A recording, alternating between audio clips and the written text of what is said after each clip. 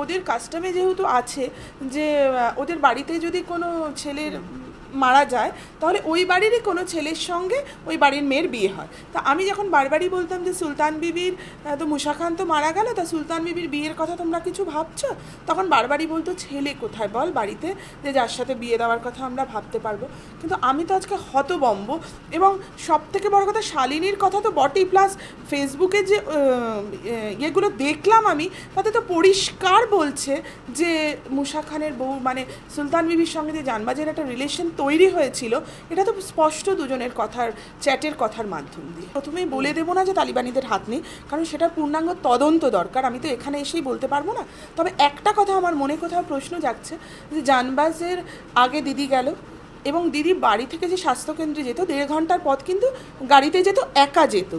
তালিবানিরা যদি এবং মানে আপনার জানুয়ারিতে গেল, মার্চে জানবাজ গেল। এই তিন মাসের মধ্যে অনেক সময় পেয়েছে তালিবানিরা এবং সবাই জানতেও পেরেছে যে দিদি মানে সাহেব কামাল ওখানে চলে গেছে।